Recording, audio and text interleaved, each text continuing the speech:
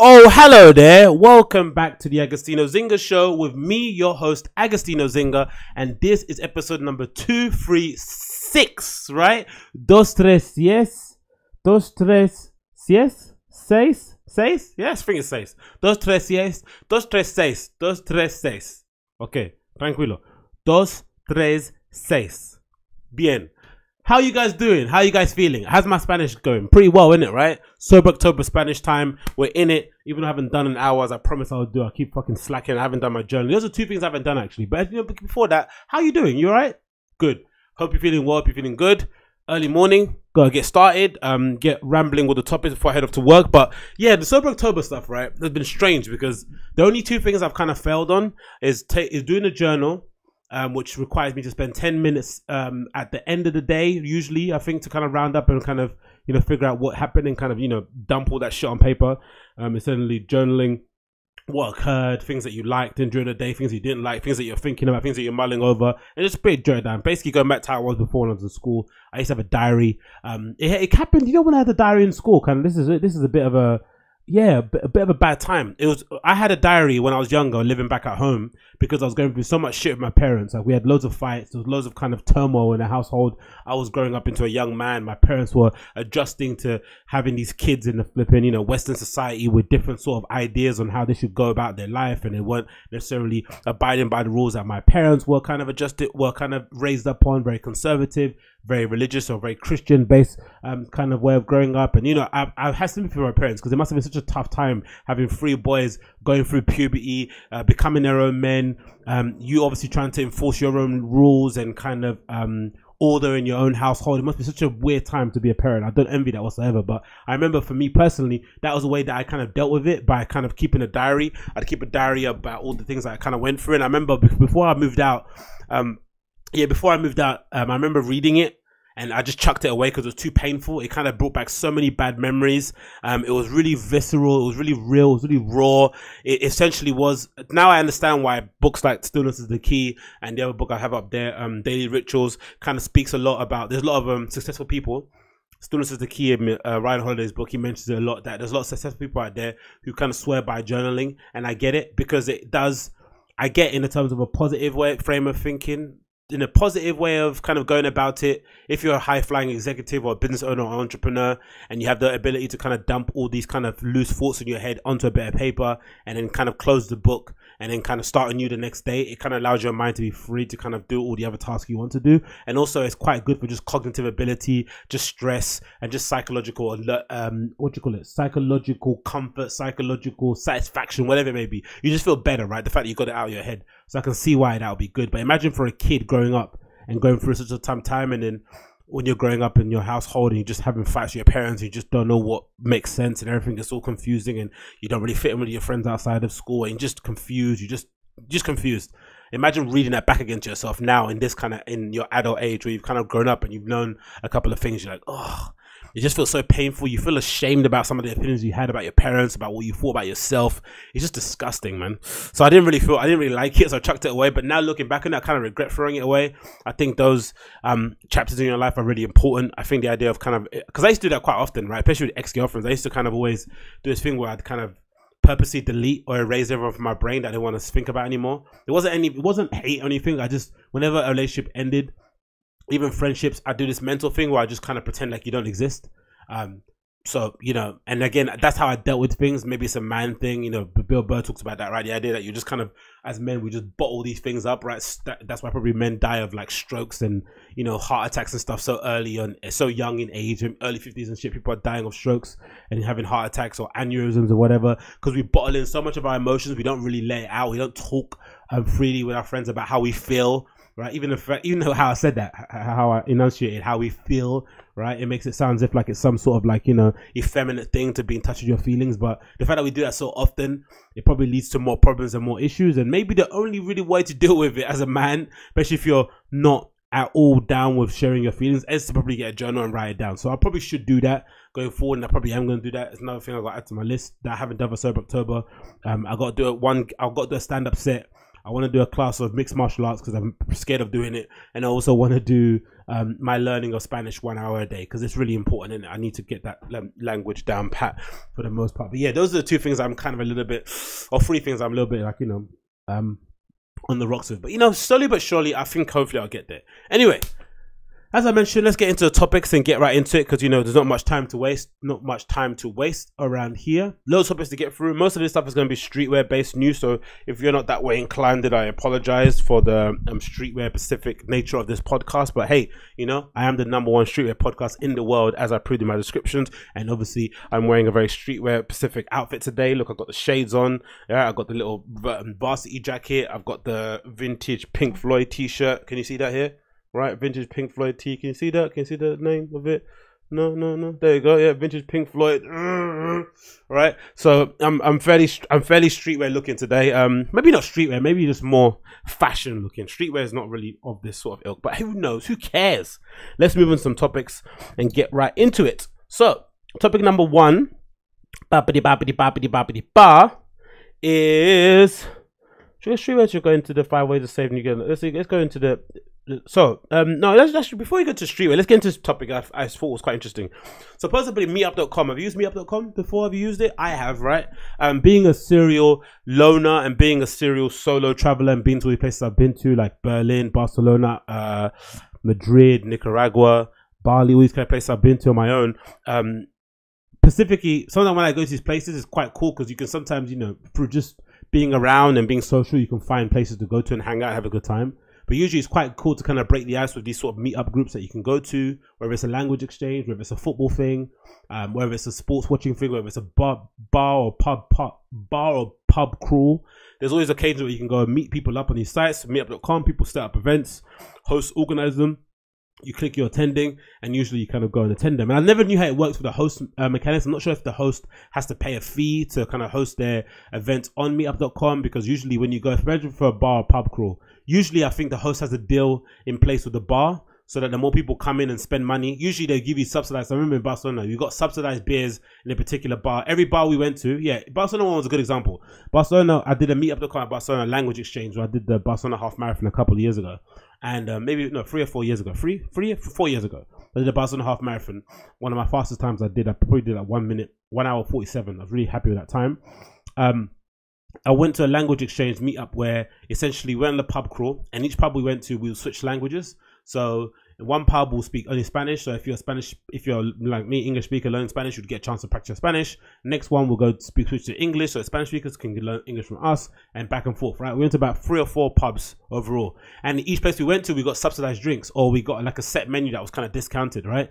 And that was pretty cool. So I think usually the host will work out a deal with the place and kind of get some money maybe uh, on the back end of that. I'm not too sure how that works out, but again, it's for, for punters or for customers like me or people that want to join. It's excellent to go to, right?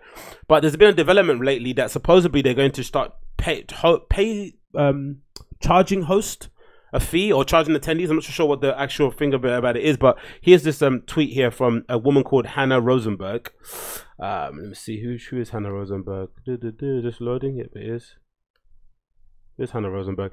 Hannah Rosenberg is an organizer, founder, and developer at Veles Communicas, blockchain woman, blah, blah, blah. So she's obviously involved in the community. So she put this post up now on uh, Twitter that says the following. I'll go up on your screen. I'll read it out to you for the podcast listeners. It says, Meetup.com, payment changes coming soon. Meetup is always looking for ways to improve the experience for everyone in our community. One of the options we are currently exploring is whether we reduce cost of organizers and introduce a small fee for members.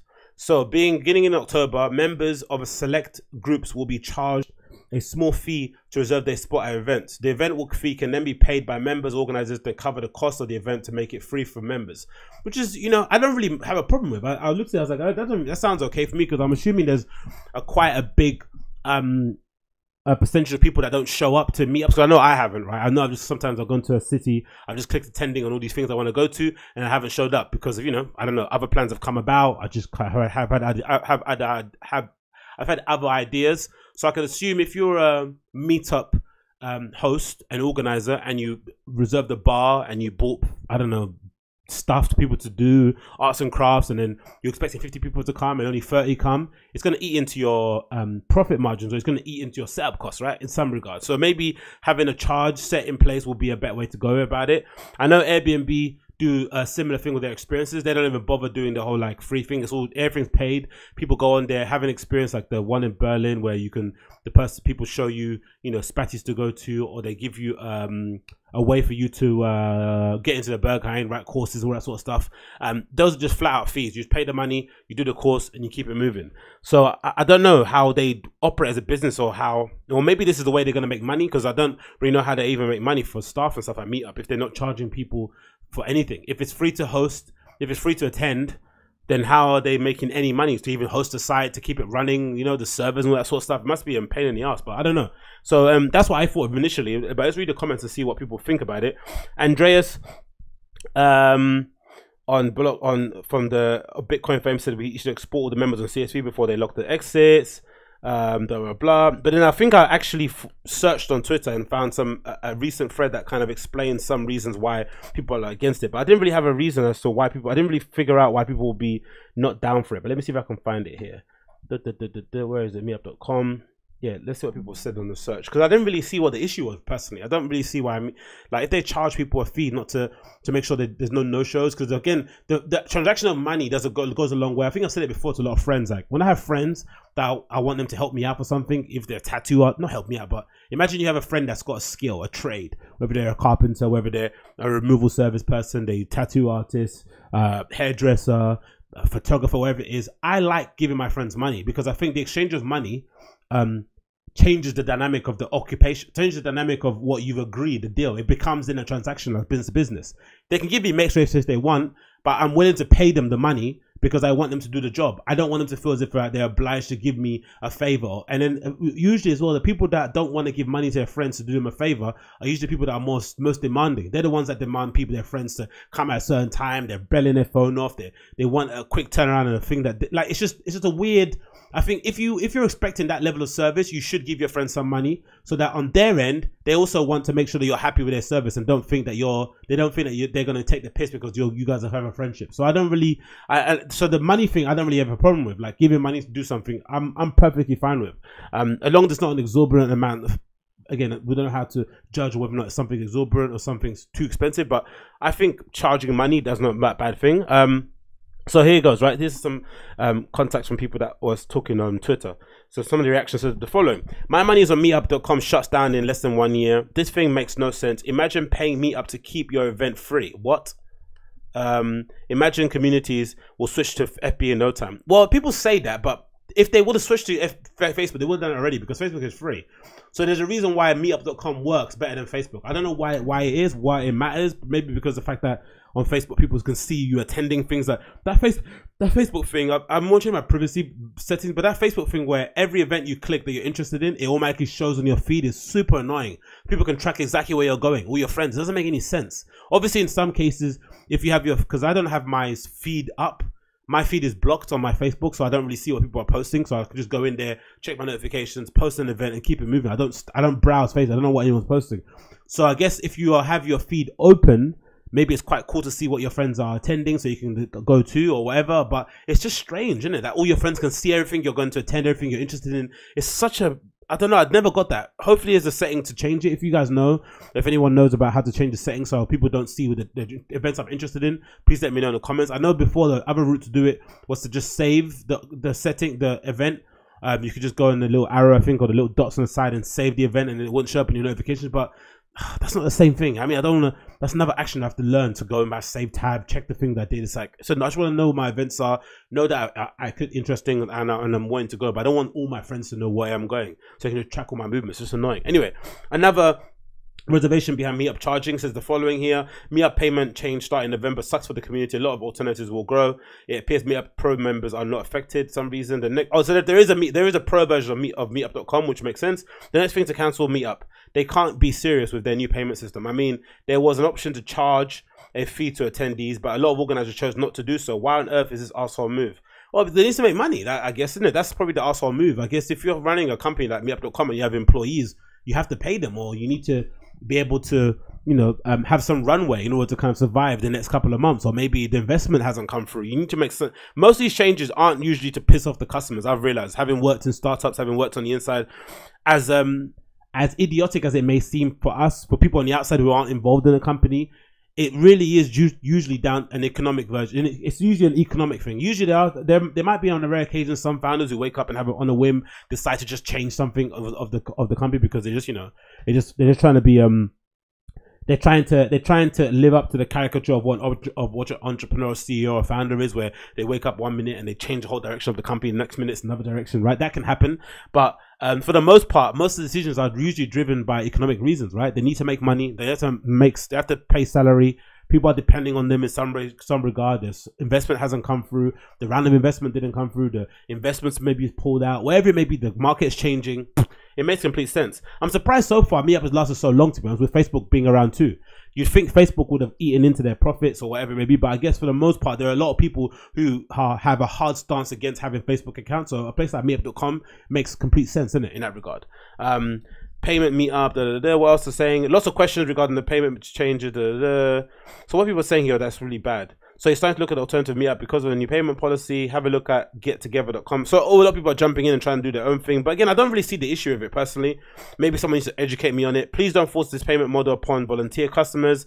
We run our communities because we care and we have a resource. Okay, this guy's got a thread. Let me see this guy's thread. What he's talking about. I, I'm really, I'm, I'm really interested to see what the reservations are. So this guy called uh, Salve J Nilsen says the following about Meetup charging now. Says, Dear Meetup, I'm involved in a couple of volunteer based meetup groups, mostly around open source software or similar volunteer driven technical communities. I understand you're planning to charge our attendees just for signing up. This is a problem.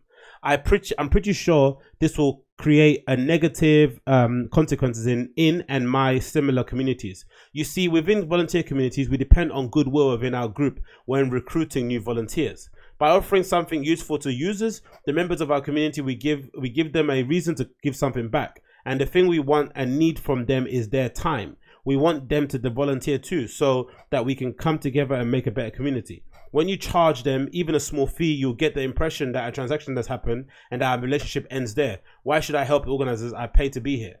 Imagine trying to organize something about a topic you care, deep, you care deeply about would you really want everyone in your community to think you as a service provider instead of a community organizer? Please don't force this payment model upon volunteer communities. We run a community. blah, blah, blah. Okay, well, I guess anyway, th- that's that's a pretty fair um uh, opinion, and I guess judging by the post I've got on here, it does say that they're mulling, they're thinking about it, so they're looking at ways to improve the experience. So it's not a, a, a, a thing that they've set in place now at the moment. It's not something that's going to going to ro- roll out everywhere, specific groups. So maybe with this sort of feedback, it could be because this is this is quite reasoned feedback from himself.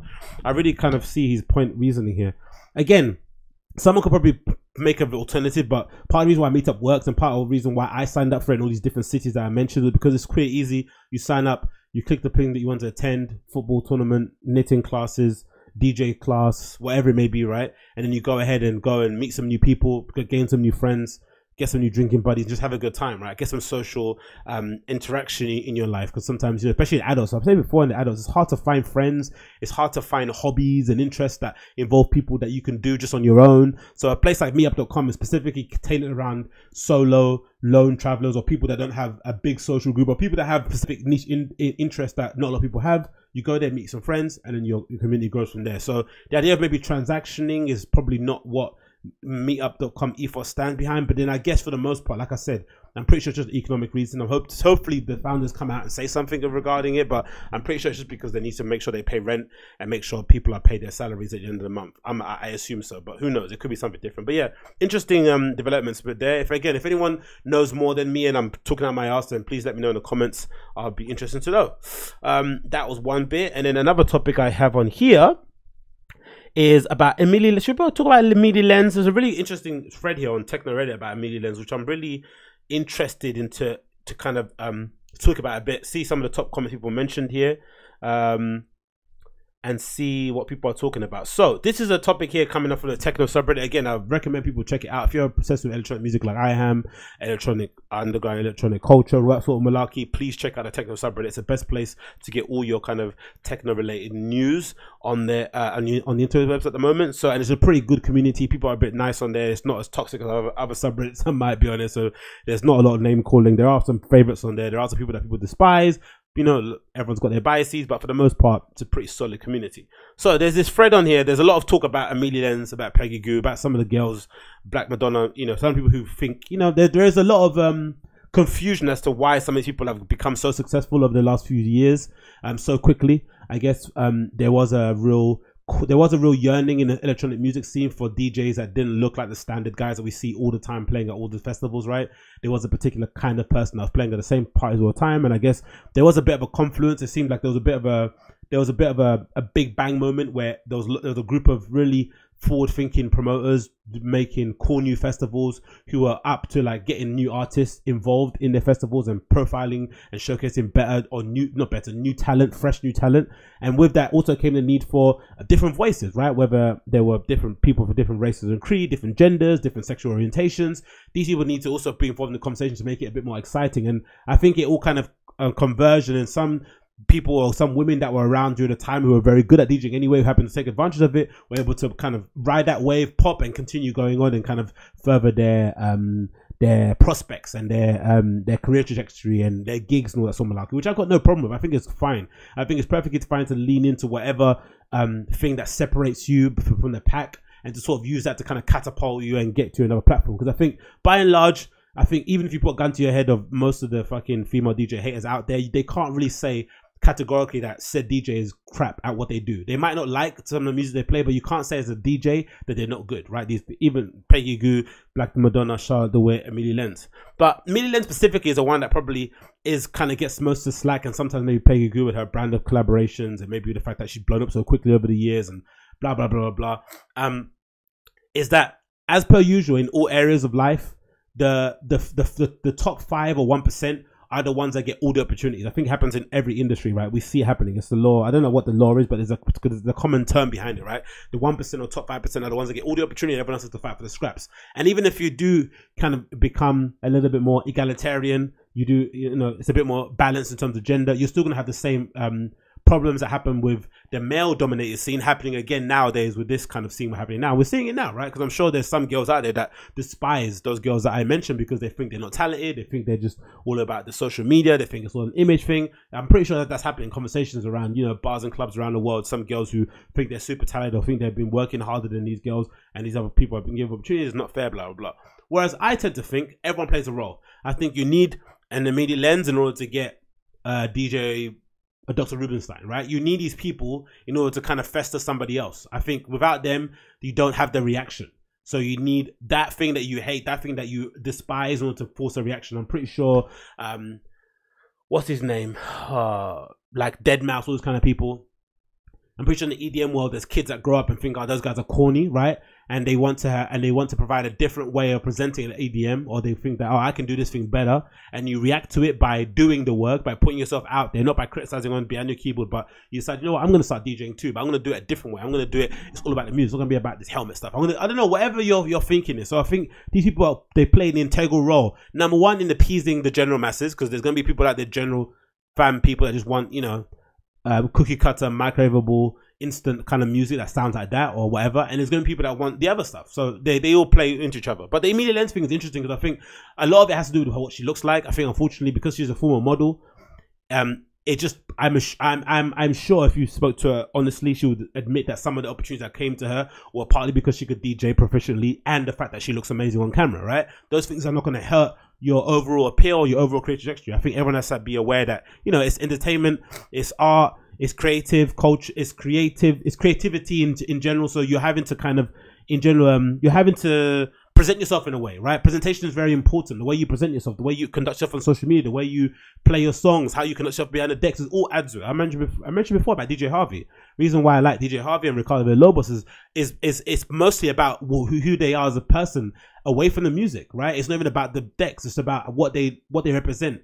Um how they compose themselves, what they talk about in interviews, the lack of interviews that they give in terms of Ricardo Villalobos' case, those all add to the enigmatic factor that adds the DJ as a fan. So if Amelie Lens, if she lends if she leans into, no pun intended, her looks and whatever it may be, then there's no harm behind it. And if promoters think, if promoters can recognize that she gets a megazillion, if, if all you gotta do is go on Boiler Room and see the people that get the most views, just book them on a festival. So if you're seeing this girl gets more views than any other person, I don't blame the promoter for booking them, right? I just think they play different roles. But I also don't think if you're an underground DJ or female underground DJ, you necessarily need to be sniping at Amelie Lens. Like that probably isn't someone you need to be conversating with. She's not even in your same bracket.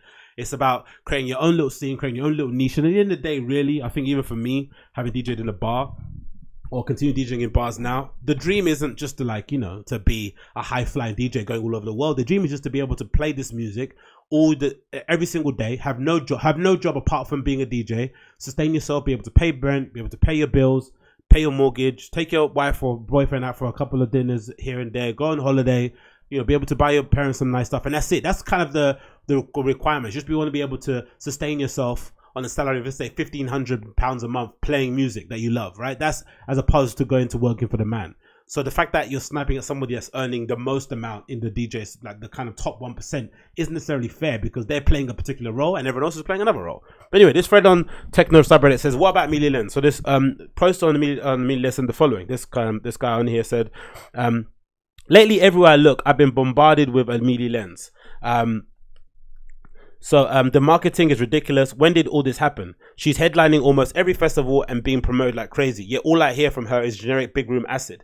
Anyone seen her in a club or festival? I wasn't impressed to be honest. Is this me or is that simply marketing?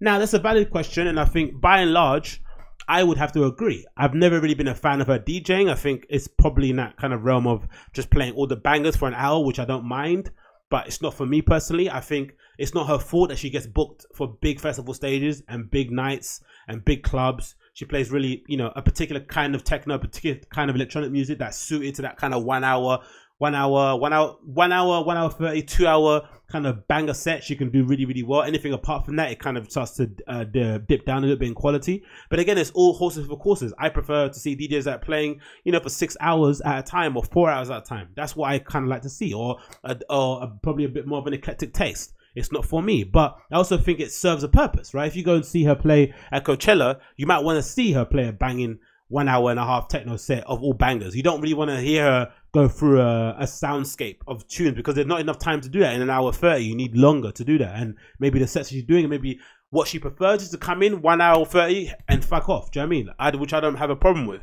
But the issue is that unfortunately, this is where the artist has to come in and kind of tell their promoters to pump the brakes once they become popular, once a DJ pops, you see, you saw it happening with Seth Troxler, you saw it happening with Dixon, but he was, he was able to pull back. You saw it happening with DJ Harvey when he got his green card, he was able to pull back. You see happen to Jamie Jones during the whole Hot Creations times.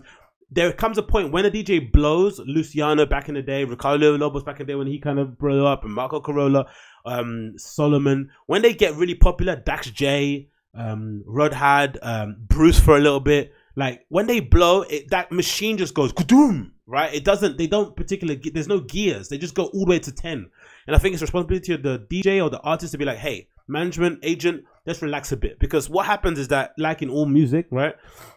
Some of the biggest people are probably the, the, the masters of it, right? The Beyonces, the Jay Z's, the Kanye's, the Drakes, um, the Rihanna's. They're the masters of the idea of like when you're at the top of the pinnacle, you have to know that this music is so I don't know. It's been it, there's so much quick turnaround behind it. Attention spans are so short. Everyone says the same thing, but essentially people get bored of you very quickly. So the fact that what you can do in order to kind of build demand, same with you know um, this um, serendipitous moment with DJ Harvey where he overstayed his visa and he couldn't leave America. That five year period, or ever how long that period was, built up a desire and a demand to see this guy again. So as a DJ, the thing you have to really be conscious of is that you can't overexpose yourself. You need to be able to balance the idea of like you know, making loads of money, um, understanding that it's a very short window, if, especially if you're the kind of DJ like that Amelie Lens is, you, you, you're, you're aware that maybe in 20 years time or 10 years time, people want more want to see you. It's the same demand they want to see you now. And you need to kind of milk it as much as you can. And if you're smart with your money and you invest and you buy some property, like um, who I heard speaking about it, like fucking Danny Daze, he, he's uh, he's got property, he, you know, he's investing in some smart stuff that could then sustain you for the long term. And then in general, you're just DJing for fun and you've got money kind of in the background that's kind of paying your rent and allowing you to kind of uh, live your lifestyle as you please. But you have to be very conscious about that balance, about making sure that you're not overexposed, because that's what ends up happening. Because now it's not a conversation about whether or not she's a good DJ; it's um, about a conversation of like she's being forced down my throat, and I feel like I, I can't say that I don't like her because everyone else likes her. Same with Peggy Gou. Same with the Black Madonna Same with Nastia. Same all these people, all these girls, Charlotte de Witte. That's what they're suffering from. It's like overexposure. But I also understand in their regard that it's a short, it's a short window, man. You you don't have that long to kind of make that much, that kind of money, especially once you're red hot, right? Why not kind of lean into it? And as well, I would think I don't know what if not it's true or not, which is kind of the, the the the side bit about life is that in general, especially in the entertainment world, for the most part, female actresses or female actors um, tend to um, their earning capability tends to diminish as older they get, especially if you're somebody that relies a lot on your looks, right? Um, I don't know why it is, the way Hollywood is like that, where you know, the in the opposite in the men's field, the older you get, the more money you're getting. Right, Al Pacino, Robert Niro, all these guys are working, you know, continuously, of course, because they've got great directors that kind of want to work with them. But for the most part, most hot women tend to kind of dip or no, tend to kind of have a low in their career when they get older because usually I don't know if it's the production companies or if it's investment bankers or if it's the flipping directors tend to usually always go for like the younger hot thing that's out and about. So that may be influencing the DJ decisions too nowadays, right? In the DJ, like these girls probably think, you know what, I'm only going to look this hot for a period of time and need to take advantage of it, which again, you don't have any issue with. But I think this is this is what happens when you're overexposed. It's less about her as a DJ and more so about her being pushed in your face, which is a real, real shame. Um, some other um, some other um, quotes here from another poster says the following. Um, you got to make a buck somehow. Musicians' careers are like athletes' careers as well, as like I mentioned. In a way, their window to make good money can be quite small. Sometimes they have to exploit it while they can. Look at Danny Daze, for example. Big release on Hot Creations, uh, Crop Crash 2012. Now writes whatever the fuck he wants. Right? That's true.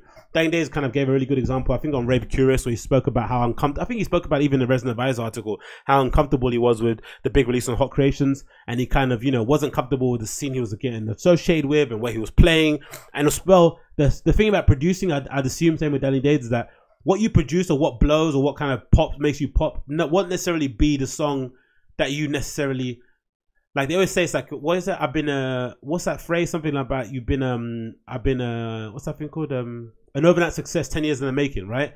The idea of like you've been working diligently all, all this time for ten years, putting out SoundCloud tunes. No one's been paying attention. There's one tune you put out blows up, but then it sounds nothing like your previous catalog. It's just something you experimenting with. Then suddenly you're getting booked to play in places where they play that kind of music. That's not the music that you actually play to DJ. And then when you go there and you get bored of playing this that music that doesn't represent you, people completely get turned off and like, oh, who the fuck's that? I don't want to hear that shit. So I, I understand the kind of that trepidation that comes with it. Um, so that's what it says there. What else? And have a good comments here to mention. On one hand, she's filling an important role in this scene, which is essentially catering for the masses and the beginning fair weather techno scenes as a genre explodes in popularity. Her mass appeal can be attributed to a mixture of good marketing, charisma, influence, and safe popular music choices. Um, every genre naturally has those type of players. Again, which I said before, it's inevitable. That said, I get why more uh, involved fans of the genre, i.e., other DJs and producers, might be frustrated and look down on the fact that she basically tracks, um, she basically lacks any sort of subtlety and plays the most obvious obvious techno choices, music choices in order to appeal to masses. It's sort of like when somebody first goes into a genre and just downloads the top 100 charts instead of curating a personalized selection.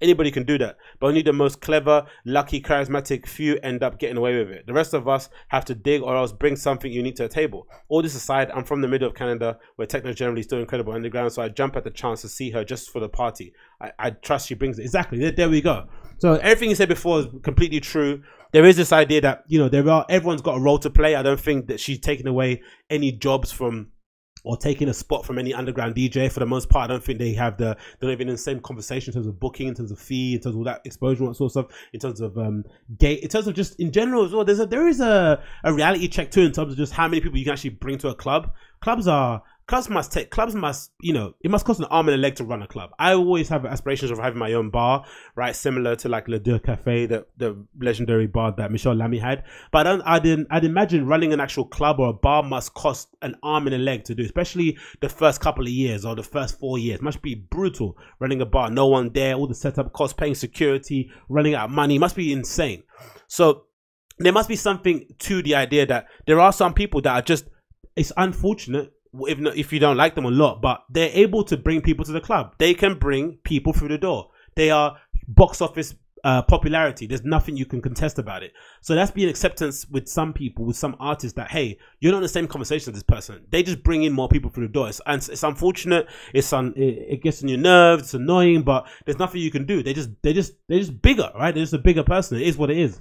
Um, And again, like I said, I think nowadays with the success or the, with the popularity of techno, the actual the good thing I think that's happening now at the moment, especially with somebody like a, like an Amelie Lens or with this popularity of people that are blowing up with business techno, whatever you call it, casual techno, is that it's opening the floodgates to everybody. Everyone's getting exposed to the sound. So eventually, what ends up happening for the most part, you you come into a, a genre, you get exposed to one person and then through a series of events and through a series of kind of just digging deep and reading reading websites and going on Instagram pages, you get exposed to other artists that lead to other artists, and you suddenly go through a rabbit hole, and suddenly you get exposed to a whole different scene. So they're a good gateway drug because I think you know you can't get a worse. There's you can't really say they're a bad gateway drug to flipping electronic music scene. Peggy Gou, Black Madonna, um, Nastia, uh, Amelie Lens.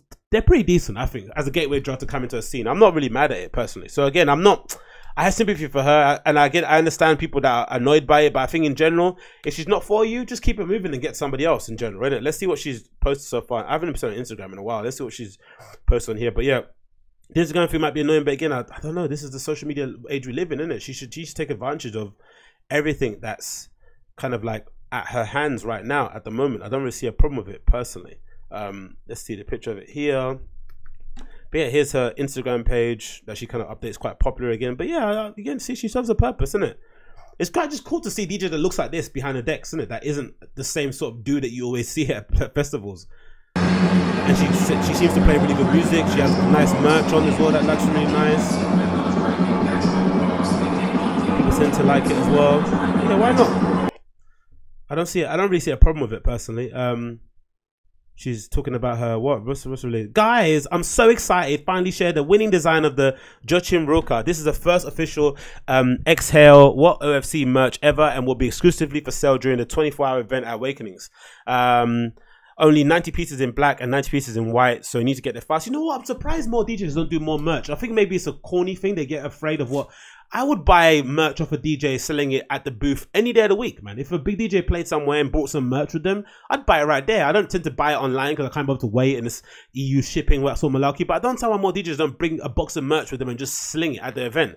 Maybe it's a bit, you know, it's not a cool thing for the uh, bar. I don't know. I, I don't know. It's it's a strange thing. I don't know why people don't do more merch, especially nowadays. Like DJs being do you remember when everyone was wearing those T-shirts with the DJ's birthdays? Um, take inspiration for the Givenchy uh, date of birthing. I think Riccardo Tisci had date of birth like he's seventy four, whatever it is, Tisci, and everyone started doing the T-shirts of DJs like Dixon, whatever. Da, da, da. That that time was probably not the best time because it wasn't maybe as popular as mainstream as it was nowadays. But nowadays, I think those shirts will probably do really well if they came about if they were fresh nowadays. And I guess the designers putting out prints on Everpress and that sort of malarkey, I, I would be, I'd be, I'd be down to wear uh, my favorite DJ's merch. Like, I'd, I'd, be on it, especially if they sold it at the kind of event where I'm there, innit? Um, the the t-shirt's quite cool. I quite like the design. I'm not, I'm not mad at it at all um, t-shirt thing at the back. Excel. I will be make sure they don't sell out during the night, so people with late entry tickets can also get them. There's also another design which I'll show you soon that will also be available. I also like to say thanks to everyone who participated in this contest. I saw so many great designs, and it was not easy decision. Thank you all. Oh wow, she picked a designer again. That that's again reason why someone like that is successful, right? That connection to the fans. People feel as if they know her. She's getting people to put posts up and design things and she's choosing winners. There's no you know it's not it's not surprising that she's become as popular as she is nowadays but um yeah. Again I'm, I'm not mad at it personally. I don't really have a problem with her. I think it's cool to see. I think it's a good change. Video playing in where's this? In fabric. Is this fabric in madrid? I think isn't it? In, in spain? Is it fabric in spain? I think so.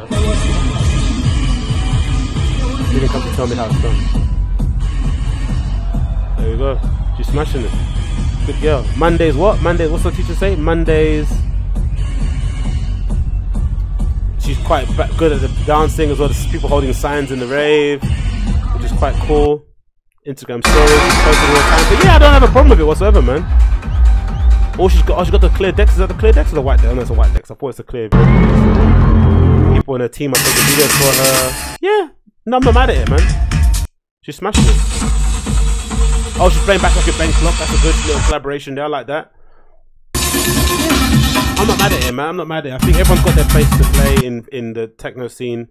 Having some breakfast and stuff. Premiere of her track with this guy, AIROD. Yeah, okay, cool. I'm not mad at it, man. I'm not mad at it. Like I said, everyone's got their, their role to play. Let's all be family. Let's all be friends. Let's all get along with each other and not be mean and stuff and let people live how they want. Next on the list here, we have people are not happy about DJs sharing audience pictures or videos, which is interesting to say the least, right? Very interesting um topic here on Techno Against subreddit. You know when people post those videos of themselves in a crowd, no, of them in an event, right? So the videos, you know, oh my god, I'm seeing this DJ play, cool, amazing. So some DJs are annoyed at people posting those things because essentially they're not they're not in in in the moment, right? In the present moment, they're not interacting with themselves, they're not having a good time. But then someone on, on Reddit made a really good point that it's the DJs that keep sharing those posts on their social media stories that encouraging people to post these things, which is quite interesting, right? And this is the post here.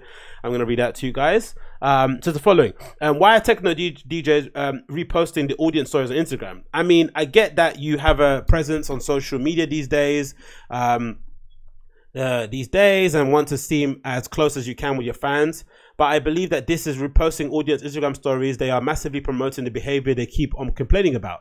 I mean, isn't it obvious that people are going to take way more videos and experience less of the moment if they're constantly hoping that this time that he or she will repost it on their page? Ran over. Have a nice weekend, everyone. Which is, I, I have a good point exactly. My thoughts exactly. Ah, so this, some person at the point here says, I totally, as someone who totally agrees that removing ourselves from experiencing a full capacity event, the moment is unhealthy, but also as somebody who truly understands how valuable and social social media can actually be at the end of the day. I think it's actually worse to learn to to lean to one side of the argument more so than the other, than to be accepting the fact that the healthy combination of both is achievable, which I which I understand. Pull out your phone once or twice, which I'm a big fan of. Take a picture if you want to to capture the moment, but standing there and recording the whole thing is just insane, especially because most of the time you're not going to rewatch it yourself. No one's going to care that you posted it online. It just doesn't matter, especially nowadays with most of the big events being recorded anyway and being put up online. Like stuff like Junction Two, there was there was you know professional recorded videos with crowd reactions and all that sort of stuff posted up online for free on Mixmag and DJ Mag for on DJ Mag YouTube pages. So you take your own video doesn't really make any sense unless you want to just have it for your own records. Um, so I tend to take out my my phone once or twice, if not anything, right? Um, and for friends that aren't there with all, for for all means, I do it too. And sometimes I'm so in the moment that I honestly don't even care to pull it out. Like sometimes, you know, if you're oh pull it out, um, sometimes the same sort of thing. Like when you go to a good restaurant and you're having a great meal, you forget to post on social because you're just so engrossed in the moment, so engrossed in the kind of the food you're eating. It's like oh, so tasty.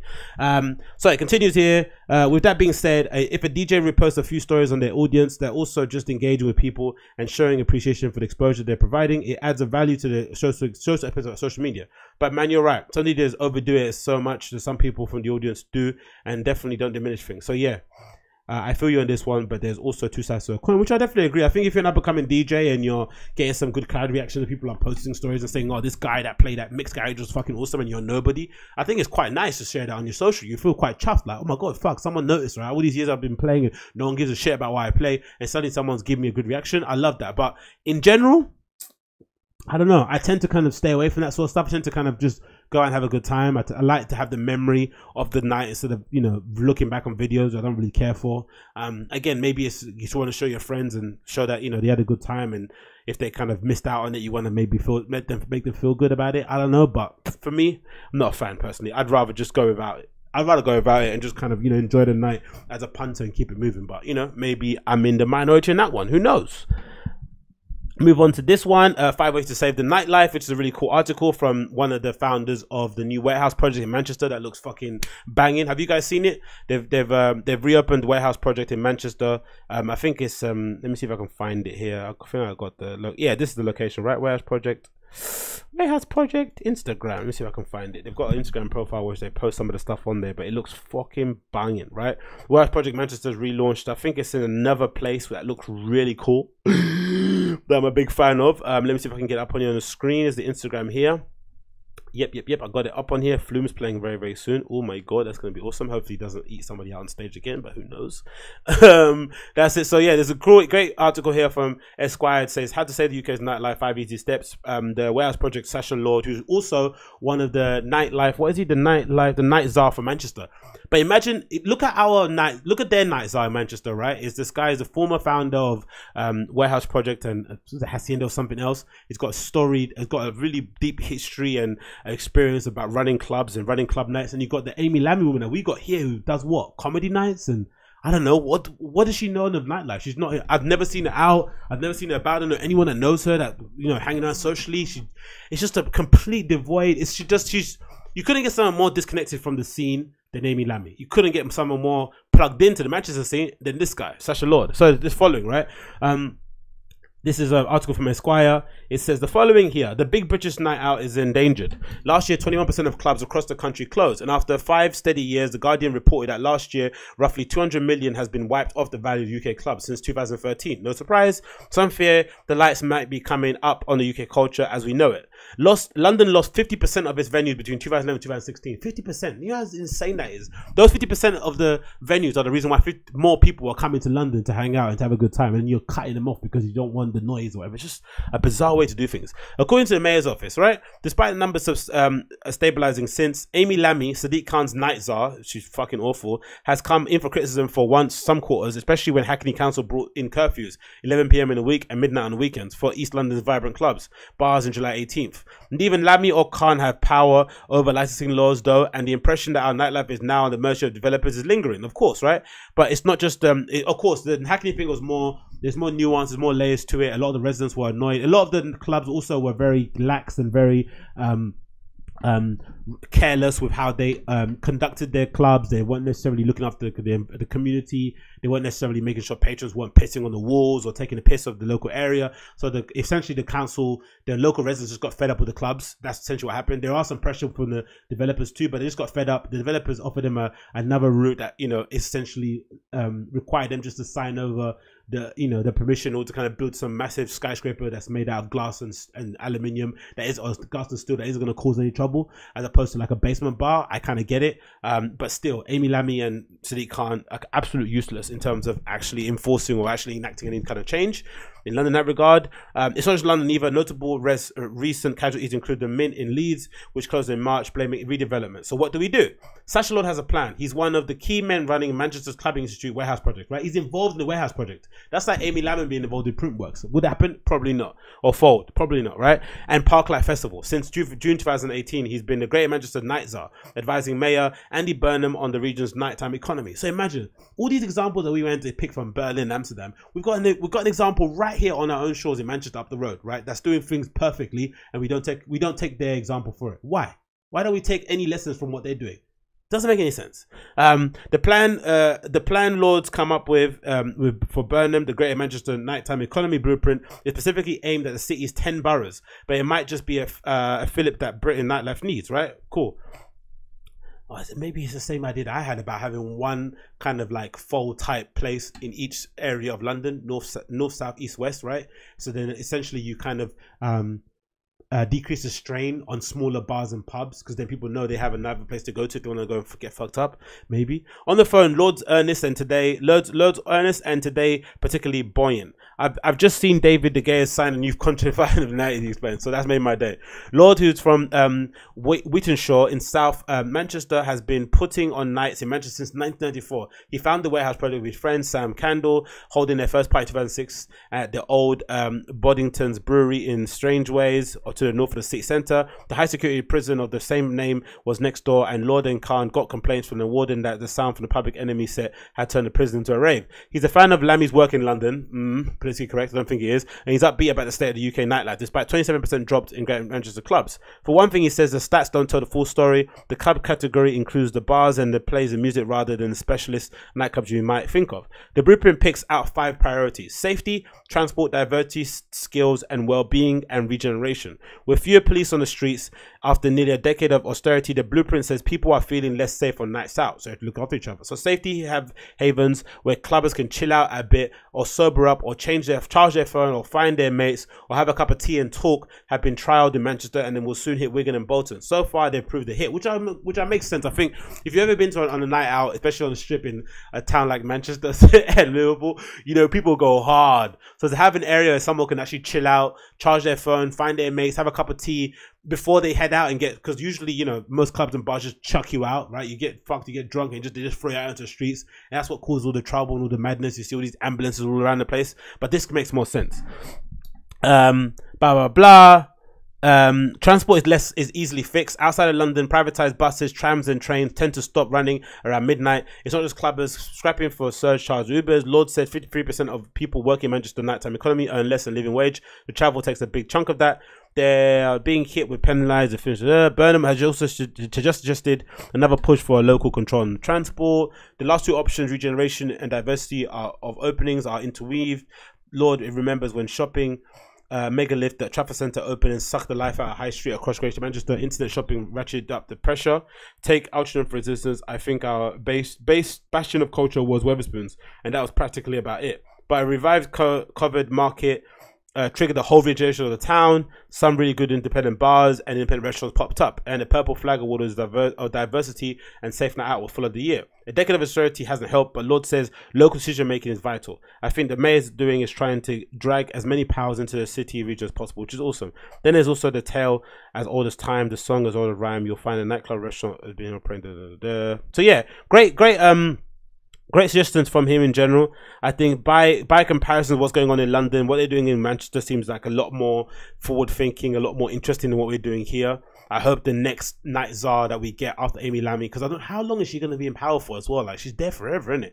Someone else needs to kind of get voted in. Hopefully, somebody that is of the culture, has some connection to the culture, and isn't just some like vapid person that no one gives a shit about and doesn't really, you know, just stands on the sidelines and goes to events and shake people's hands. But again, going forward, I think those are some nice areas to concentrate on. Warehouse Project looks fucking interesting. I can't wait to go visit it myself. I've got some images here from Warehouse Project. Flume is playing there very soon with Ross from Friends uh, when Wednesday the 13th of November. We've got image here of who's this?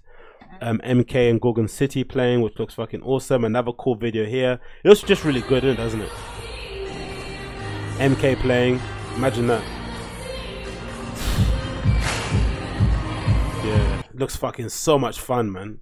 It looks like so much fun. I can't wait to go there. Is Denis Sulta playing here? Denis Sulta? Huh? Or Joseph, was it Marco Joseph Capriati? Or oh, Joseph, Marco Carola and Joseph Capriati playing back to back on the 17th as well. So that should be good. I'm looking forward to going, man. Has anyone been to Wise Project so far, Manchester? Let me know in the comments. I'll be interested to see, hear what you guys think of it. Oh, Honey Dijon played. That must have been mad, isn't it? Look at that. Look at how that looks from the back, though. That looks amazing. Such Instagram ready. Whatever, like the lights I'm not a fan of. Everyone's phones are on, but you know what can you do in that regard? But it looks fucking gorgeous, doesn't it? Honey DJ playing, the drops incoming. Wow. Awesome. Can't wait, man. Can't wait to go visit myself. But yeah, uh, big up um, big up Sacha Lord. What he's doing there with the warehouse project in general is amazing, and I can't wait to come to your club, my friend. It looks fucking cool. Next on here, reusable water bottles. I hate them. I hate people that have reusable water bottles. I hate there's nothing worse than enthusiastic water drinkers. There's nothing worse than people who make water drinking into some kind of workout that, you know, the person that eats fucking 17 donuts, 18 Kinder Buenos, but suddenly has a bottle of water next to them and keeps sipping on it as if that's going to, you know, alleviate some of the stresses that they're causing to their livers, arteries, and their cholesterol levels with all the um, amount of, you know, artificial flavorings and, you know, stupid sugars that they ingest in their bodies. It gets to my nerves. It gets to my nerves, but it's also interesting um, trend that's happening at the moment, where people are, you know, going out their way to buy the reusable water bottles in order to kind of, I don't know, carry water around with them, so they're kind of saving the environment, not buying plastic bottled water and that malarkey. But I drink so much water day in day out, I don't need to carry this sort of shit with me. I don't need another thing that in my position. I don't need to carry around a fucking bottle around me. You got already a massive smartphone in your skinny jeans. I've got my big wallet full of massive, massive cash because I'm rich and I'm famous, and I don't want to be having this fucking water bottle on the side of my hand, gripping it as I'm walking down the street street. And imagine losing a water bottle that cost you 25 quid. That's annoying. That's a that's annoying, and I'm pretty sure if these things are desirable accessories, as it says here in the, in the um, article, if they're if they're desirable accessories or cool accessories, there's probably going to be people on the other end who want to take your cool accessory without paying for it, i.e., thieves, i.e., um, people that you know don't have any money, i.e., fucking scumbags, right? There's pretty sure there's a big market for black. Mar- Imagine there's a big market for black market reusable water bottles. How skanky do you have to be to buy a used reusable water bottle? That's madness, isn't it? To save what a couple of quid, and probably people would want to do that. People will want to do that. This is amazing. So this article from the House of Buy this says a reusable water bottle is the coolest accessory you ever buy. Like, come on, really, really cool accessory.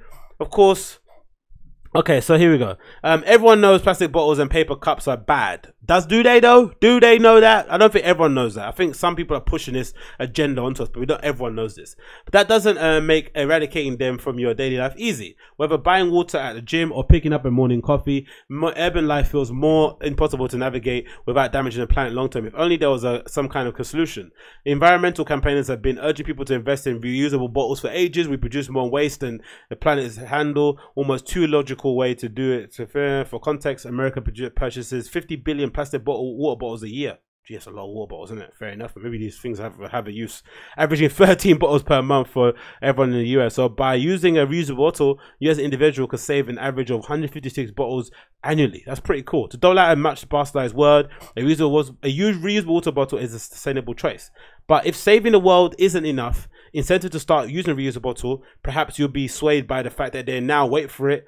Um, a bona fide fashion accessory. Environmentalists have been championing the cause for ages, but now reusable bottles are cool. So imagine being an environmentalist. Imagine actually caring about the planet, going out your way to attend these rallies, going to conferences where no one cared. And now the only reason why people care about reusable bottles is because they're cool because you want to be posted up on Instagram with you crossing your legs, um, looking out onto the sunset, um, doing some weird pose, jumping up into a star sign, whatever it may be, being a visco guy or girl, and drinking your water. But that's the reason why people are using it. Not because of your message, not because of the environmental benefits, but because it's cool.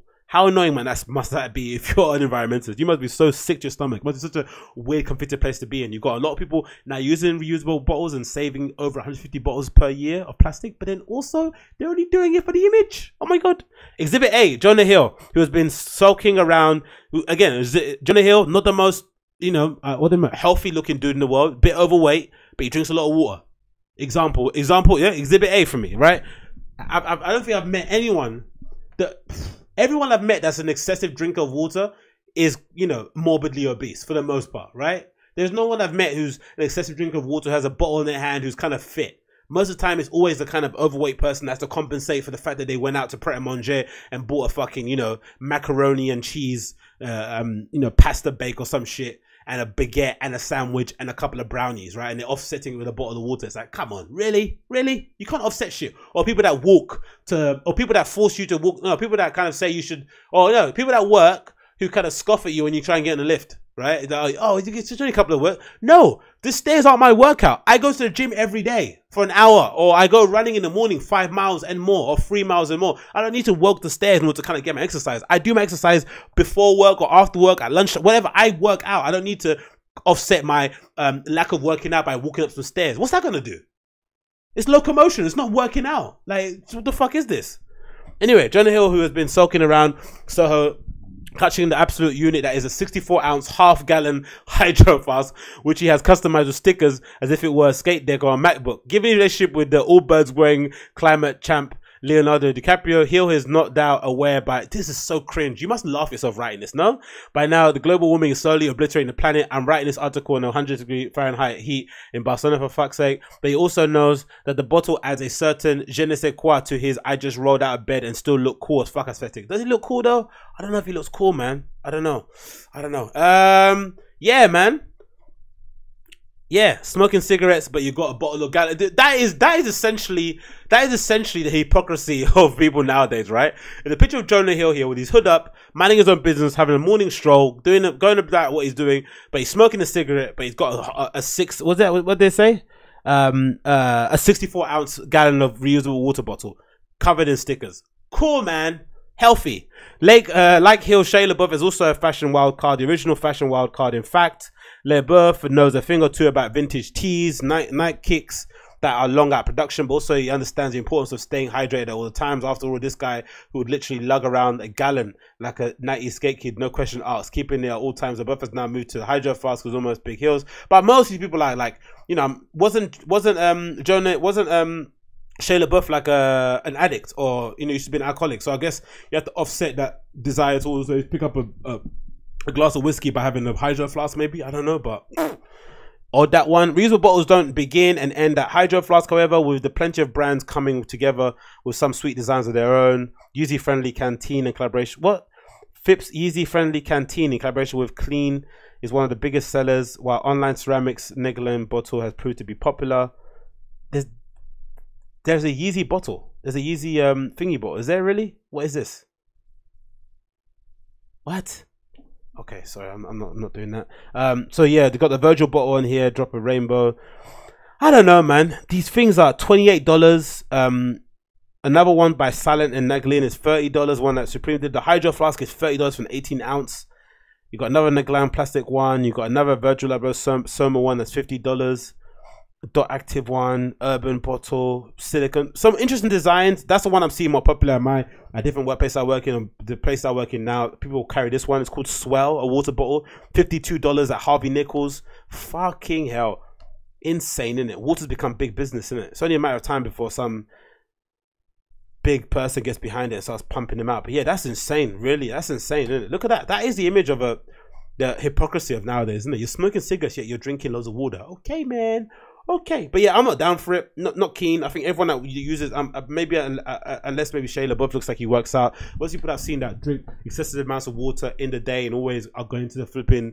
Um, because back in the day, remember back in the day when you could get water, it used to be a chance to gossip. Now people are doing it as like a weird weird virtual signal, and they're going to go get some water and drink that. It's like. The fuck is wrong with you? Go and work out. Like, run some stairs, do some burpees. Like, the fuck. Anyway, what do I know? What do I know?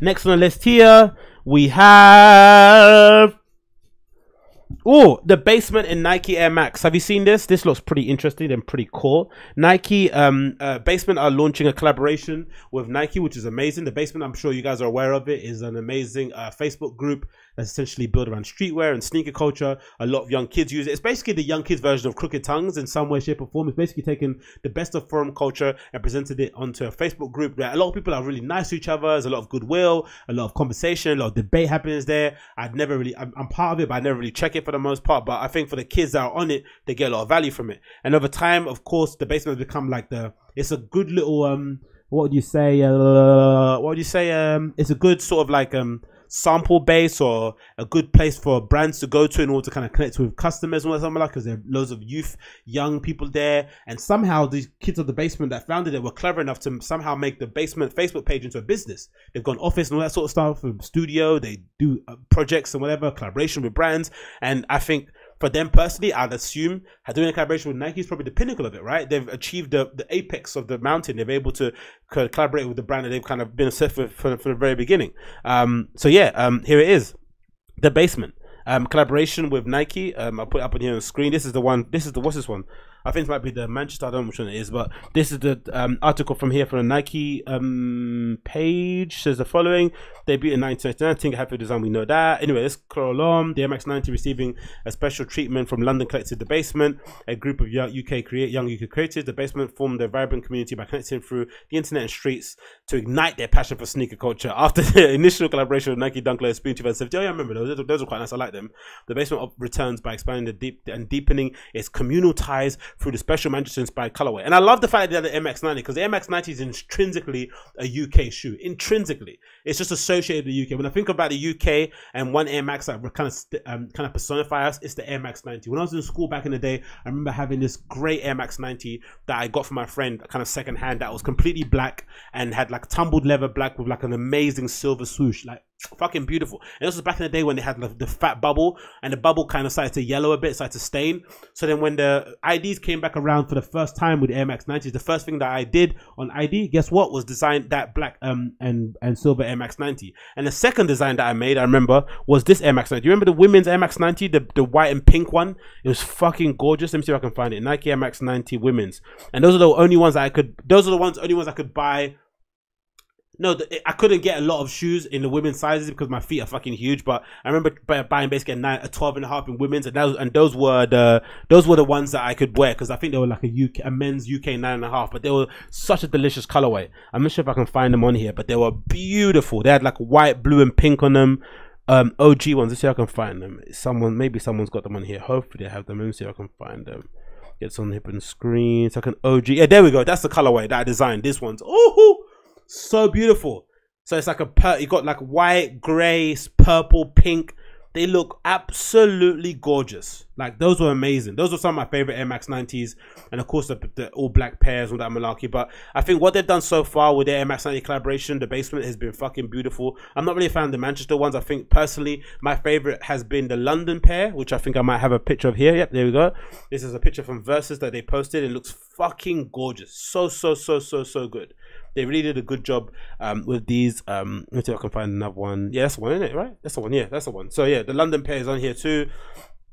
There's a, that's a London pair. They come with a removable swoosh that you can change the colors of the swoosh. They come in a little pack similar to these Air Force ones that came out a while back, but they look fucking gorgeous. That is an amazing color of a shoe. I'm signed up, I think, for the Foot Patrol raffle at the moment, so hopefully I get those. That would be amazing. But I really like the I really like the pen. I think the other one's Glasgow. The Glasgow one's probably Manchester and Glasgow are my favorite pair. You know, grey and muggy. Maybe this uh, is that to do with Tizer, the orange tongue. Maybe is it Tizer? What's that drink everyone drinks in Scotland?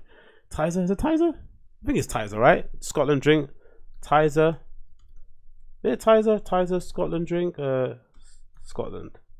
The Tizer, Tizer. What's that drink everyone drinks in Scotland? Maybe it's to do with Tizer. I don't know. Maybe it's to do with Tizer. Maybe not. I have no idea. Maybe it's to do with Tizer. Tizer.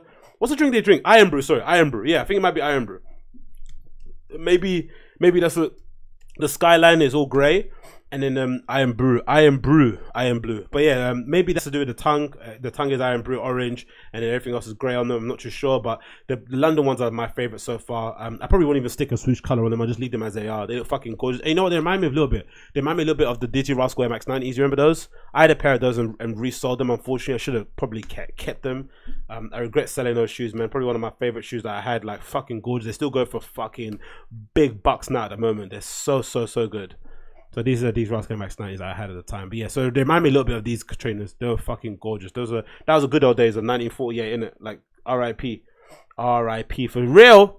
But yeah, um, I'm looking forward to these coming out. Can't wait to get a pair myself. Um, basement, and when are they coming out? I think this week, isn't it? Right? Um, let's see here. They've got should have a release date on them so far, but I think they're coming out sometime this week. I'm pretty sure. Maybe it's a Thursday as per usual. Maybe Thursday. Let's see. The, the, the who we be? What's that? Us as a new I don't know. Let's see. Let's wait to see this load up a little bit. Boppity boppity boo! What do we have here? Yeah, so they're coming out on. There's a raffle open at the moment. I've got them loaded up here on the drop date website. Encoding overload. Okay, I'm gonna stop soon. Don't worry. 19th of October. So uh, this Thursday, right? Or this, or that this Friday? Uh, this Saturday actually. So yeah, look out for them. Sign up um, to get your pair. They're available now on raffle from End, Foot Patrol, Five Points, SNS. And of course, um, sneakers app on Nike, which you know I never have any luck with. I'm sure you guys don't have any luck with either. But yeah, um, basement um, London or Basement um, Air Maxes in all the colors. I think all the colors are coming out on the same day, or maybe are they, they going to stagger the releases? Um, either way, I like them. Real big fan of them. I really like that Packer Consortium Air Max ZX as well. The bottom here, that's really nice. But yeah, um, those those are my favorite of of the whole collection so far, and I can't wait to see if I get a pair. Probably not because I always catch L's, but you know, you can only hope. You can only hope, my friends. Anyway, that's an hour so far. Thank you so much for tuning in. Go head off to work. As per usual, find all the links regarding myself in the show notes, agostinhozinga.com. You can find the link to my website, DJ mixes, um, DJ gigs, um, my blog links, my social media links, all on there. If you have a question regarding anything I've spoken about, leave me a comment in the YouTube page. If you have any question via the podcast app, you're listening there, email me. Let me know what you think. You can follow my socials all on there as well. Subscribe if it's your first time. Like if it's your first time. Leave me a five star review. All that good stuff. And I'll see you guys again very, very, very soon an episode of the show. Probably tomorrow, innit? As per usual. But yeah, tomorrow. Take care. Bye. Bye. Bye. Bye. Peace.